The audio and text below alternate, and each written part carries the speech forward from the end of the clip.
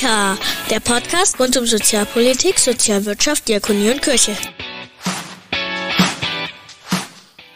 Guten Tag, grüß Gott, herzlich willkommen und bienvenue zu einer neuen Ausgabe von Mika, dem Podcast der Diakonie in Bayern. Ich bin Daniel Wagner, Pressesprecher der Bayerischen Diakonie und ich begrüße Sie zum einzigen Diakonie-Podcast in Deutschland, in dem es auch mal Brüsseler Spitzen gibt. Die Pfingstferien sind vorbei mit hoffentlich erholenden Folgen für Sie alle da draußen und wer weiß, vielleicht hat der eine oder die andere von Ihnen den Urlaub auch außerhalb Deutschlands verbracht, im europäischen Ausland genauer. Um das Soziale in Europa kümmert sich, abgesehen von Impfstoffen, Diktatoren und der Bananenkrümmung, was im Übrigen auch nur ein böswilliges Gerücht ist, die Europäische Union. Und die diakonischen Themen in Brüssel und Straßburg vertritt eine Organisation, von der viele Menschen auch in der Diakonie nicht wissen, dass sie existiert. Eurodiakonia. Was Eurodiakonia tut, welche Ziele sie verfolgt, welche sozialen Themen auf der europäischen Agenda stehen, das wollen wir heute von jemandem wissen, der der EU entsprechend einen durchaus komplexen Jobtitel führt. Er ist Policy and Membership Development Officer. Heute zu Gast bei Mika. Stefan Gitzmann, der bei Eurodiakonia in Brüssel einen komischen Beruf hat und dessen Aufgaben später erklärt werden. Am Mika-Telefon begrüßen wir Stefan Kitzmann von Eurodiakonia. Herr Kitzmann, wo sind Sie gerade? Äh, hallo zusammen, ähm, ich bin in Brüssel, in der Hauptstadt von Belgien. Wenn man es ganz genau nimmt, bin ich äh, ja, in meiner Wohnung, ähm, ja, schon seit seit einem Jahr oder über, über einem Jahr ähm, sind wir nicht mehr im, im Büro gewesen und äh, haben die Möglichkeit, ja, von zu Hause aus zu arbeiten und ja, damit ist es natürlich genauso auch wieder ins, ins Büro zu gehen irgendwann. Nun ist die Vernetzung ja etwas, was zu Ihren Hauptaufgaben gehört und ich habe mal auf die Website geschaut, was da über Eurodiakonia steht. Das ist ein Netzwerk aus 52 Kirchen und christlichen Organisationen, die Gesundheits- und Sozialdienste anbieten und sich für soziale Gerechtigkeit einsetzen. Gemeinsam arbeiten sie, Zitat, für einen gerechten und transformativen sozialen Wandel in ganz Europa, bei dem niemand zurückgelassen wird. So, Herr Kitzmann, das war jetzt die offizielle Variante, wie wir sie da lesen. In eigenen Worten, was ist Eurodiakonia und was genau machen Sie? Kümmern Sie sich um die Krümmung der Banane?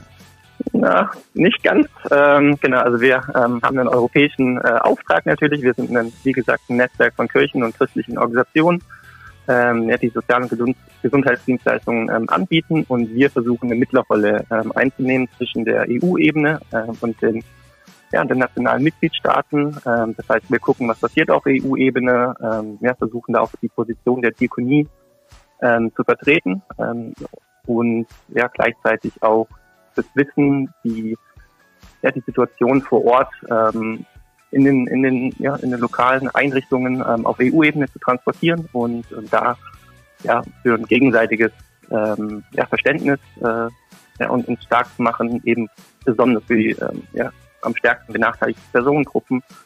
Und ähm, Eurodiakonie versucht dort ähm, ja, eben Mitglieder zusammenzubringen ähm, in Netzwerktreffen, ähm, wo unterschiedliche Themen behandelt werden, von Migration zu Kinderarmut ähm, bis Zugang zum Arbeitsmarkt oder auch in der, in der Langzeitpflege. Also in ganz, ganz vielen ähm, unterschiedlichen Themenbereichen versuchen wir Positionspapiere zu schreiben, versuchen im Grunde genommen Lobbyarbeit für ähm, soziale Themen zu machen und ähm, genau uns da in die Gesetzgebungsinitiativen auf EU-Ebene mit ähm, ja, starken Positionen der, der, der Diakonie ähm, in Europa ähm, einzusetzen. Also wenn man an Brüssel denkt, dann denken viele Menschen, mhm. ich auch, äh, an die Fernsehbilder, die wir da kennen. Der ein oder andere war vielleicht auch schon mal in Brüssel. Das sind große, schicke Gebäude, in die äh, Menschen hineingehen und dann abends wieder hinauskommen und irgendwas machen sie da hinter verschlossenen Türen. Was genau tun sie? Ich meine, reden sie mit den Abgeordneten, ähm, schreiben sie E-Mails, gehen sie abends ein Weinchen trinken. Was genau tut man als Mitarbeiter von Eurodiakonia in Brüssel? Und zwar ganz konkret. Lassen Sie uns mal von den Papieren ganz abschreiben, ja, genau. weil Papiere, ja, ähm, weil mhm. Papiere sind äh, geduldig und leicht produziert. Das stimmt, ja. Ähm, also wir arbeiten relativ stark auch mit der Europäischen Kommission zusammen. Ähm, wir sind auch gefördert äh, von der Europäischen Kommission, bekommen ähm, Gelder, haben dann einfach auch den, den, den Auftrag, ähm, eben ja, mit, mit der Kommission ähm, zu sprechen. Das heißt, wir ja, treffen äh, dort Kommissare, die, die für die Themen zuständig sind, ähm, versuchen eben ja auch genauso mit den Abgeordneten aus dem Europäischen Parlament uns zu treffen, genau schreiben Mails. Wir sind in unterschiedlichen Netzwerken auch auf EU-Ebene ähm, organisiert, ähm, wo wir zusammenkommen, um ja einfach nur eine Plattform zu bieten für für Austausch. Ähm, genau, ansonsten ist es natürlich auch viel viel Policy Monitoring, ähm, wenn man so sagen kann, also einfach nur zu beobachten, was was passiert, ähm, eben auf EU-Ebene, was wird diskutiert, sei es die europäische Säule sozialer Rechte ähm, oder ja, Initiativen zum Mindestlohn. Genau, also es ist relativ viel, ähm, ja auch auch Verwaltungsauf ähm, oder Arbeit, sage ich mal, bei uns, ähm, wo wir einfach nur versuchen, auf dem aktuellen Stand zu bleiben und wie gesagt, diese Mittlerrolle einzunehmen. Es ist viel Event-Management, äh, würde ich behaupten, auch bei mir konkret. Das heißt, äh, ja, mindestens alle zwei, drei Monate steht eine, eine größere Konferenz an, ähm, die wir organisieren oder es sind Webinare, die wir, ähm, ja, die wir, die wir veranstalten. Ähm, ich selber nehme an, an vielen ähm, ja, natürlich jetzt seit dem letzten Jahr dann an, an vielen Online-Veranstaltungen teil, um, um dort auch immer wieder präsent zu sein und, und äh, eben die Position von Eurodiakonie zu vertreten.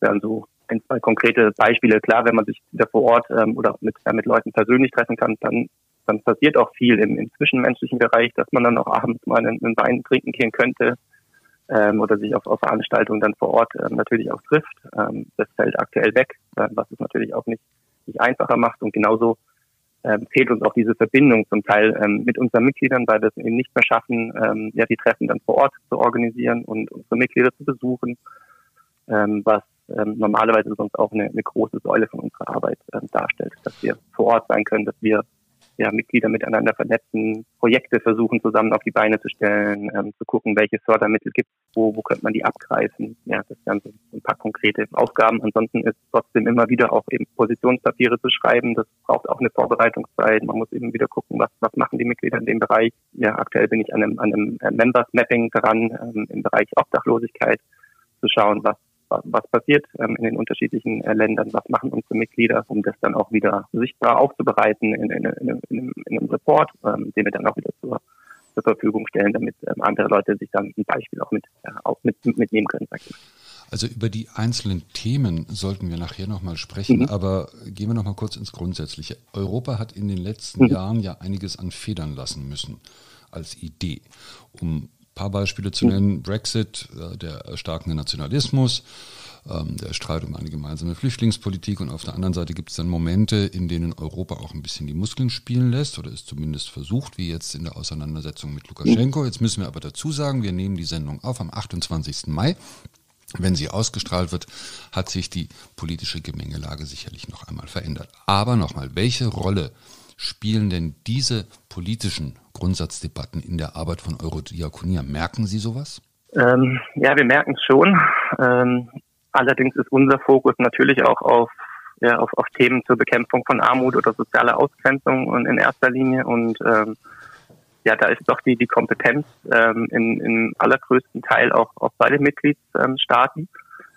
Und ähm, ja, genauso eben merken wir natürlich auch zum Teil einen Vertrost oder es ist immer wieder so das Gespräch auch wegen, ähm, ja, sehr, sehr bürokratisch und das dauert auch alles ähm, relativ lang, auch auf EU-Ebene, das, dessen sind wir uns bewusst. Ähm, aber trotzdem hat beispielsweise auch eine, ja, eine, eine erst kürzlich veröffentlichte Eurobarometer-Studie ergeben, dass neun von zehn Europäern ähm, ein starkes äh, soziales Europa als, als wichtig für sie persönlich empfinden.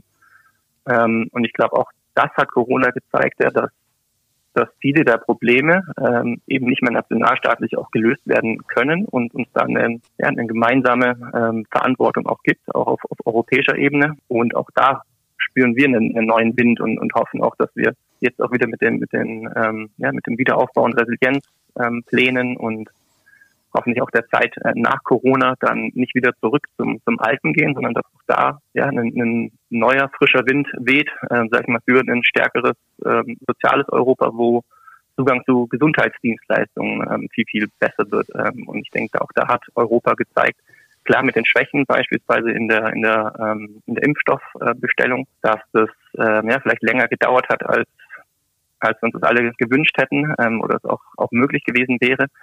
Ähm, aber gleichzeitig bin ich auch persönlich froh, dass das auf EU-Ebene stattgefunden hat und dass wir da nicht in, in nationale Einzelkämpfe gegangen sind, wo ja, sich wieder jedes Land ähm, einzeln um, um, um die Impfstoffbeschaffung beispielsweise ähm, kümmert. Und genauso ist es auch mit, mit außenpolitischen Themen, um die wir uns jetzt natürlich nicht, nicht kümmern. Aber ja, es ist, ja, manchmal habe ich das Gefühl, eben so der Eindruck von Europa ähm, ist, ist vielleicht nicht immer ganz so positiv, aber ich denke auch, ähm, ja, genauso ist es wichtig aus der, aus der Historie heraus, ähm, dass, dass, dass dass es ein Friedensprojekt ist, Europa, für, für das es sich lohnt, äh, sich weiterhin einzusetzen. Und ähm, ja, wir versuchen das auch mit Diakonie eben auch auf, auf starke soziale ähm, EU-weite Mindeststandards hinzuwirken. Und ähm, ja, auch wenn es vielleicht länger dauert, auch wenn ähm, ja, eine gewisse Kompromissbereitschaft natürlich auch immer wieder braucht, ähm, damit 27 Mitgliedstaaten sich auf, auf eine gemeinsame Linie äh, verständigen. Ähm, ja, dauert Zeit, aber ich denke, es ist trotzdem ähm, ja, die beste Lösung, die wir, die wir aktuell haben.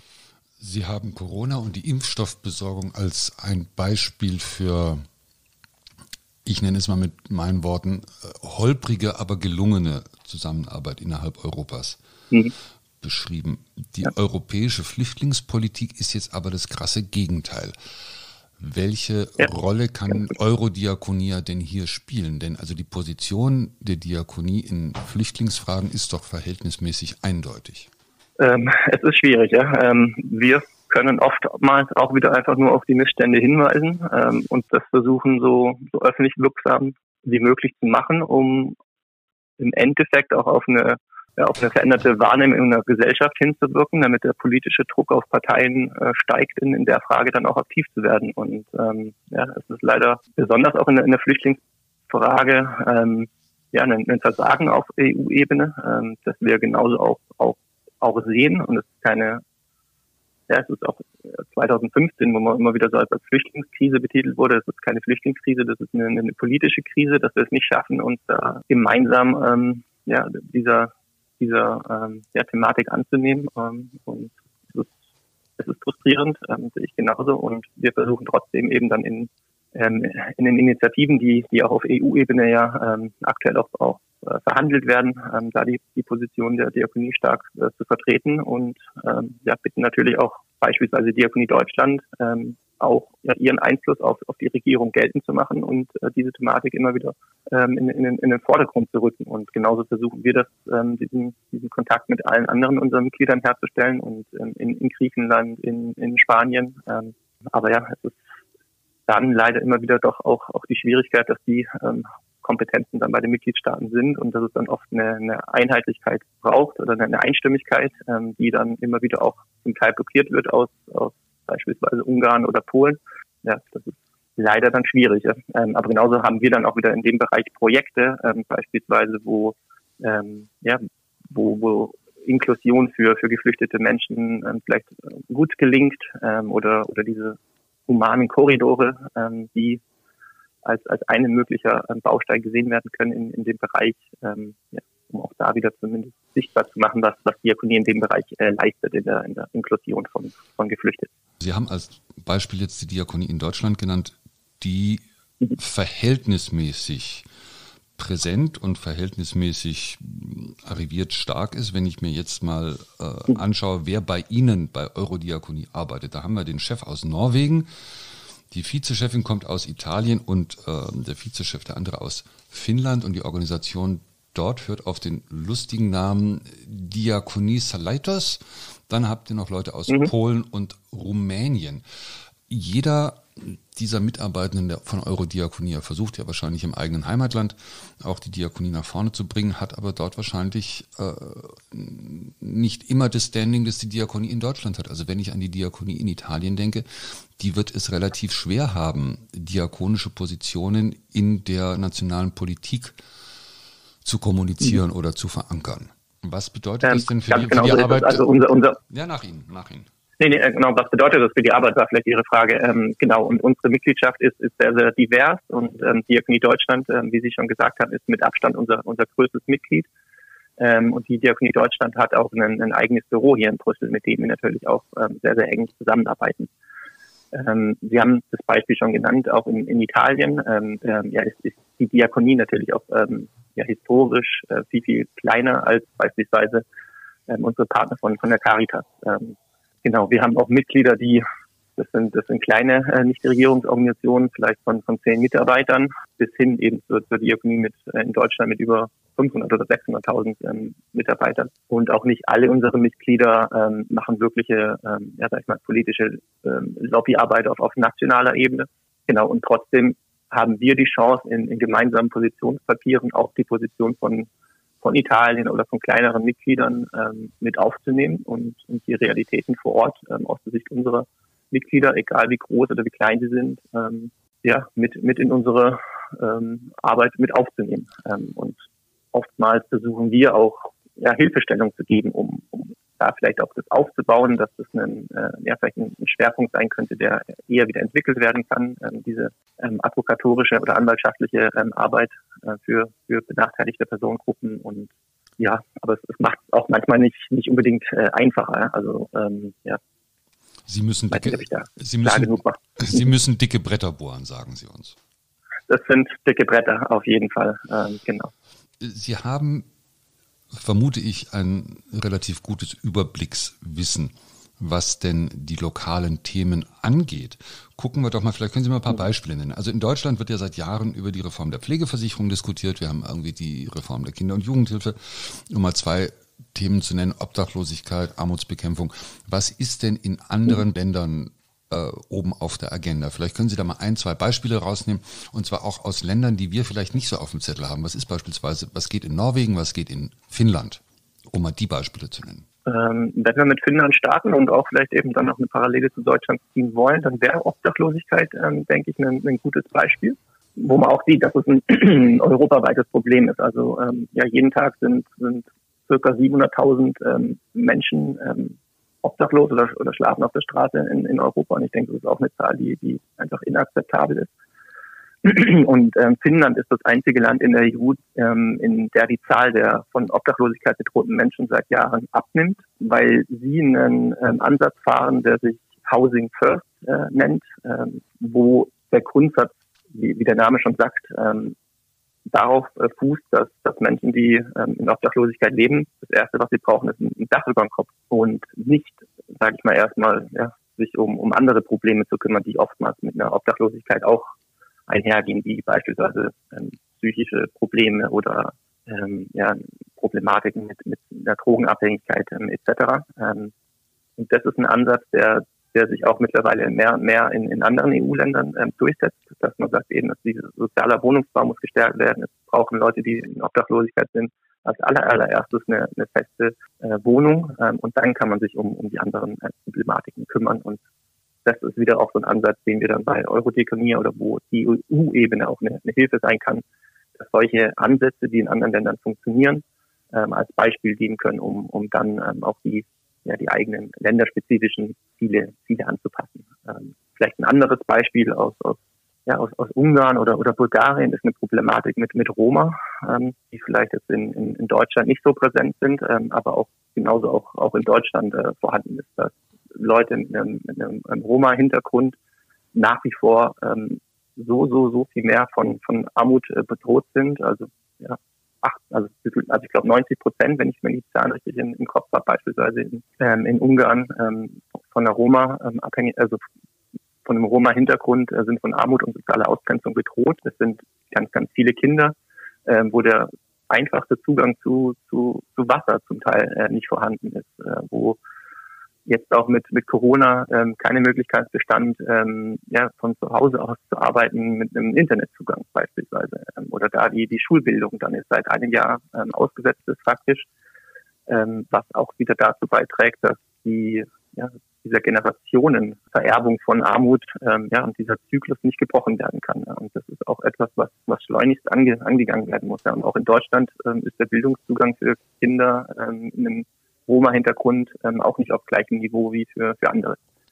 Und das ist ja vielleicht so ein, so ein konkretes Beispiel, wo man, ja, wo viel zu oft auch noch, noch weggeguckt wird. Oder für im, im Migrationsbereich, sag ich mal, für, für undokumentierte ähm, Flüchtlinge, ähm, ja, wo der Zugang zu, zu, zu den Sozialdienstleistungen ähm, ja auch, auch nicht in dem Maße vorhanden ist. Sie haben jetzt als Beispiel Finnland und Housing First genanntes Modell oder dieses Konzept wird auch in Deutschland, wie Sie sagten, zunehmend äh, diskutiert. Äh, dennoch frage ich mich, es gibt europäische Länder, die für bestimmte Problemstellungen offensichtlich gute und funktionierende Ideen haben. Beispiel Finnland. Äh, dennoch, dennoch scheint es relativ lange zu dauern, bis das, ähm, ich nenne es mal gegenseitige Learning der europäischen Länder für bestimmte Problemfelder überhaupt in Gang kommt. Also ich vermute mal, dass die Finnen sich Housing First nicht erst gestern ausgedacht haben. Wie kommt es, dass das so lange dauert? Ist es generell das eurokratische Problem oder ist Eurodiakonia nicht fix genug? Das ist eine gute Frage. Ähm, ja, ich, ich denke, das ist ja, auch wieder ein Grundsatz einfach der, der Problematik, dass, dass viele der, der Kompetenzen, ähm, sage ich mal, im sozialen Bereich auf EU-Ebene nicht ähm, ja, auf EU-Ebene verankert sind. Das heißt, es gibt diese sogenannte äh, offene Methode der, der Koordination. Ähm, also Mitgliedsländer haben immer schon die Möglichkeit gehabt, auch, sage ich mal, diese Beispiele zu präsentieren und, und voneinander zu lernen. Aber ich denke, im Endeffekt ist es dann auch die Verantwortung der, der Mitgliedsländer, ähm, ob sie das hören möchten oder nicht.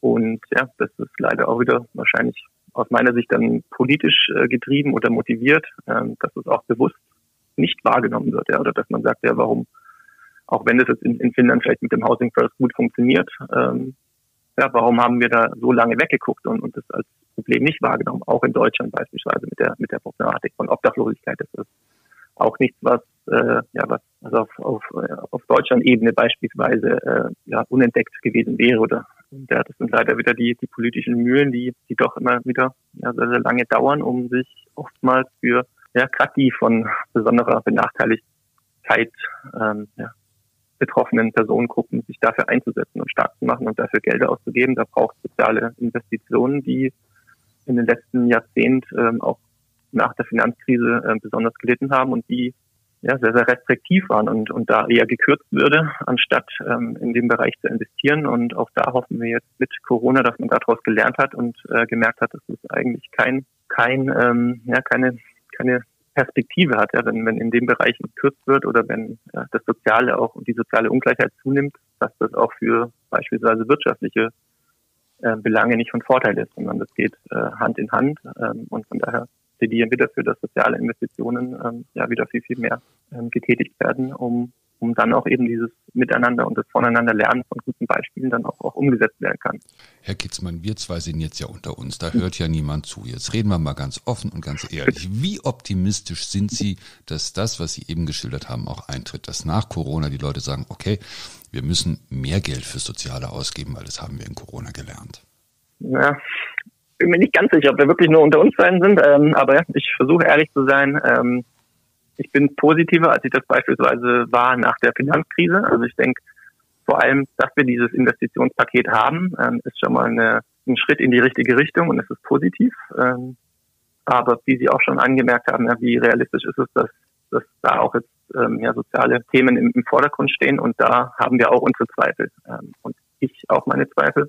Ja, weil doch doch nach wie vor im Vordergrund steht die, ja, der, der Wandel zur, zur Digitalisierung und ähm, auch ja, im, im Bereich Klima und, und Klimaschutz, was ja auch gar nicht ähm, zur Abrede gestellt werden soll. Aber genauso hätten wir uns auch gewünscht, dass eben ähm, ja auch da ein Prozentsatz vorgesehen wäre, beispielsweise von 10, 15 Prozent, der für ähm, soziale Themen ähm, ja, investiert werden müsste. Und ja, was wir von, von unseren Mitgliedern gehört haben, ist auch in der in der Zusammenarbeit und in der Stellung dieser Pläne ähm, wurden, ja, wurden die wenigsten ähm, wirklich in einer qualitativ hochwertigen Art und Weise involviert, ähm, was auch leider dann wieder dazu trägt, ja, dass die, dass die Pläne ähm, aus unserer Sicht auf jeden Fall auch wieder eine, eine große Chance haben, äh, eine verge vergebene Chance zu sein, ja, da ähm, wirklich diesen, diesen Wandel, den wir uns wünschen, mehr zu realisieren. Reden wir noch. Ich, ich hoffe, dass es, dass es. Mh, mh. Nee, nee, sagen Sie ruhig. Sie hoffen? also ich, ich hoffe, ich, ich hoffe trotzdem eben, dass, dass ähm, auch ein Bewusstsein jetzt hoffentlich mit Corona auch, auch stattgefunden hat, dass man beispielsweise in ja, die, die, wie, wie gesagt, wir haben in, in den ersten Lockdown-Phasen den, den, den Leuten im Krankenhaus äh, zugeklatscht und wir haben eben auch, auch vor allem auch ähm, ja, die, die Leute in der Pflege ähm, und Pflegemitarbeiter ähm, hoffentlich auch ja, da ein Bewusstsein mehr in der, in der Gesellschaft. Und das ist eine Chance, ähm, da jetzt auch wirklich für verbesserte ähm, Löhne zu kämpfen und verbesserte äh, Bedingungen. Ähm, und ich hoffe, dass wir das ja schaffen, ähm, eben das auch umzusetzen und dass es nicht nur bei, bei leeren Worten und, und bei Applaus bleibt, äh, sondern ja, dass es wirklich jetzt eine, eine Chance ist, ähm, aus, der, aus der Krise zu lernen und, und da hoffentlich gestärkt herauszugehen, bin ich trotzdem noch äh, positiv, positiv äh, bestärkt. Das hören wir gerne. Nochmal der europäische Vergleich. Deutschland hat in Fragen der Sozialpolitik ja eher einen, ich sag mal, einen durchwachsenen Ruf. Das Gesundheitssystem gilt tendenziell eher als teuer und bürokratisch. Das Gleiche gilt auch für die Pflege. Äh, das Bildungssystem gilt als verhältnismäßig starr und wenig durchlässig. Wie nehmen Sie das im gesamteuropäischen Vergleich wahr? ähm, bezogen auf die Perspektive auf Deutschland dann, wie das, wie das von Europa aus gesehen wird? Ja, also welche Rolle, also wie, wie, wie, wie wird sozusagen die deutsche Sozialpolitik im europäischen Kontext wahrgenommen und wie beurteilen Sie sie im Vergleich? Ja, ich denke, im, im Grundsatz wird sie doch eher noch positiv wahrgenommen. Ähm, das ist zumindest so den, den Eindruck, den, den ich gewinne, auch aus, ja, aus, aus der Sicht von, von vielen unserer Mitglieder, dass, dass doch immer wieder auch gerne auf, auf Deutschland geguckt wird und, und da im Verhältnis doch noch relativ viel passiert oder, oder relativ hohe ähm, qualitative Standards sind. Ja, aber natürlich gibt es auch Bereiche, wo, wo Deutschland dann auch wieder abfällt, also auch im, Bildungsbereich oder in Digitalisierung ähm, etc.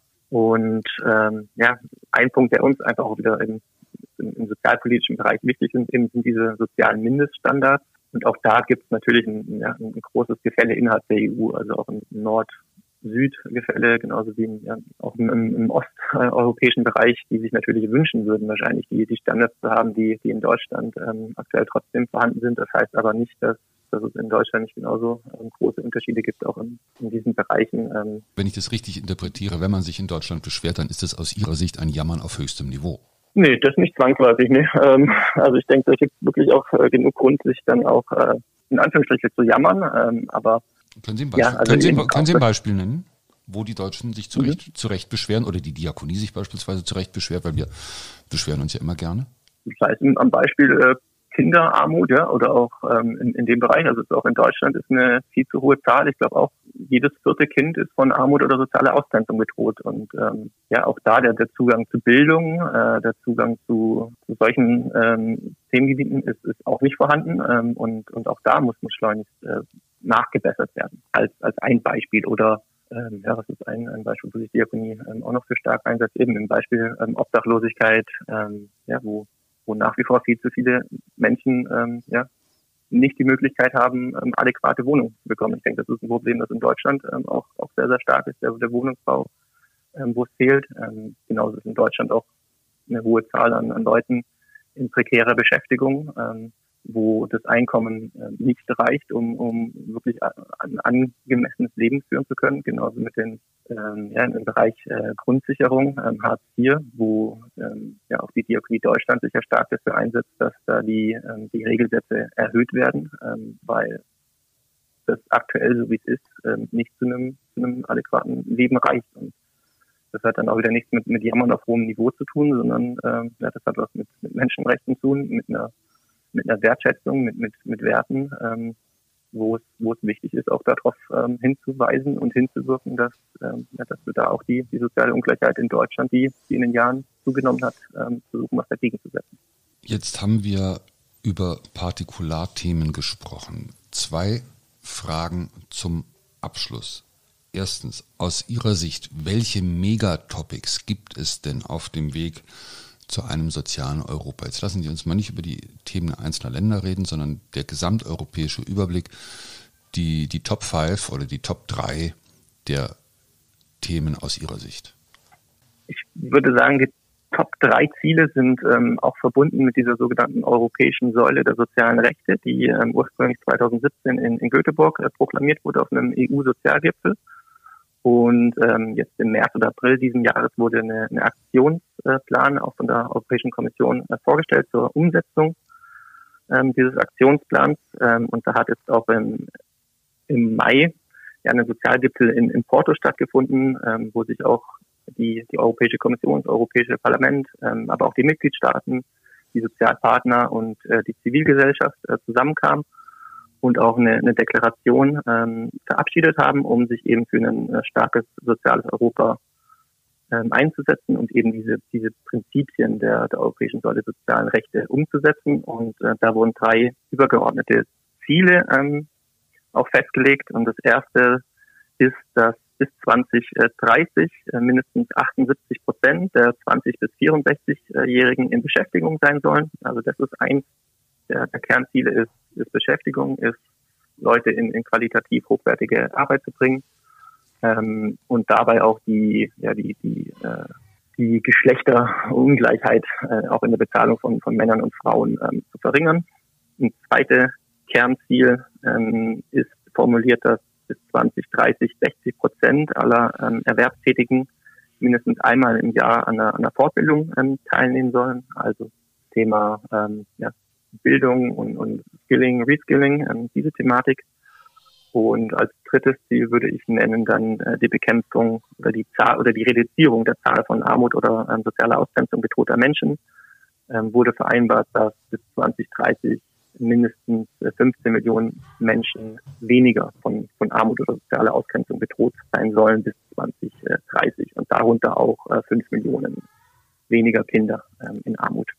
Vielleicht als Einordnung, also im aktuell sind das sind Zahlen von, von 2019 da waren es ja um die 90 Millionen äh, Menschen, die von ähm, Armut oder sozialer Ausgrenzung bedroht sind. Von daher sind das Ziele, die, die festgelegt worden sind, ähm, ja, die, die ambitionierter sein könnten, aber es ist trotzdem, denke ich, auch ein, ein Schritt in die richtige Richtung, dass man die, die drei Kernziele vielleicht ähm, ja, jetzt mal formuliert hat.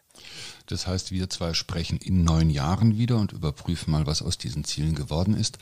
Herr Kitzmann, letzte Frage. Wenn man als Mitglied der Diakonie Bayern, Deutschland oder eines anderen Landes. Und ich möchte nochmal sagen, wir haben auch Hörer in Japan. Wenn man als Mitglied der Diakonie von Eurodiakonia profitieren möchte oder Eurodiakonia unterstützen möchte, welche Partizipationsmöglichkeiten gibt es denn da? Ist die Möglichkeit, eben sich dann auch als, als Mitglied ähm, bei uns äh, zu bewerben oder sich, ja, sich bei uns zu melden ähm, im Sekretariat in Brüssel. Da ähm, gibt es die Möglichkeit. Ähm, ansonsten ja, haben Sie die Möglichkeit, sich bei unseren Newslettern ähm, zu abonnieren. Die finden Sie auf, auf unserer äh, Webseite www.eurodiakonia.org. Da können Sie sich auch zu thematischen äh, Themen dann informieren. Ähm, genau, ansonsten veranstalten wir öffentliche Diskussionsrunden, Podiumsdiskussionen, ähm, wo Sie auch jederzeit herzlich eingeladen sind, äh, teilzunehmen. Ähm, ansonsten sind auch ja mindestens die Hälfte unserer Angebote dann auch für, für Mitglieder ähm, reserviert, ähm, also die, die dann nicht wieder öffentlich sind. Äh, von daher kann ich auch nur jedem dazu raten, ähm, ja, sich, sich bei uns zu melden, zu engagieren. Ähm, ja, auch wirklich äh, alle, alle lokalen Organisationen in äh, der Diakonie in, in, in Deutschland äh, sind Teil von Diakonie Deutschland, wenn ich das richtig äh, verstehe.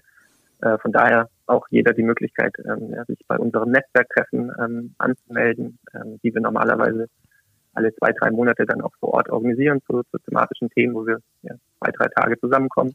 Das ist also die, die Möglichkeit. Ansonsten ja, ähm, sind wir im Austausch mit unseren äh, Mitgliedern in, in thematischen Arbeitsgruppen, wo es die Möglichkeit gibt, äh, ja, aktiv teilzunehmen. Ähm, das sind vielleicht so ein paar konkrete Beispiele. Das heißt, die Mitgliedschaft und die damit verbundenen Benefits werden gewissermaßen vererbt über den Bundesverband und den freundlichen Landesverband bis runter zu den Mitgliedern. Genau. Herr Kitzmann, ich genau. bedanke mich so. ganz herzlich. Sie haben uns einen kleinen Einblick gegeben in das, was die Diakonie in Brüssel und in Europa tut. Wir wünschen weiterhin alles Gute auf dem Weg nach 2030 und wie gesagt, in neun Jahren werden wir uns darüber unterhalten, was aus diesen Zielen geworden ist. Bis dahin erstmal alles Gute für Sie. Vielen Dank, ja, herzlichen Dank für das Gespräch, hat mich gefreut und ja, alles, alles Gute Ihnen auch und freue mich auf das Gespräch im, im nächsten Jahr. Mika, der Podcast der Diakonie in Bayern. Die zeitweise etwas schlechte Verbindungsqualität dieses Gespräches bitten wir zu entschuldigen.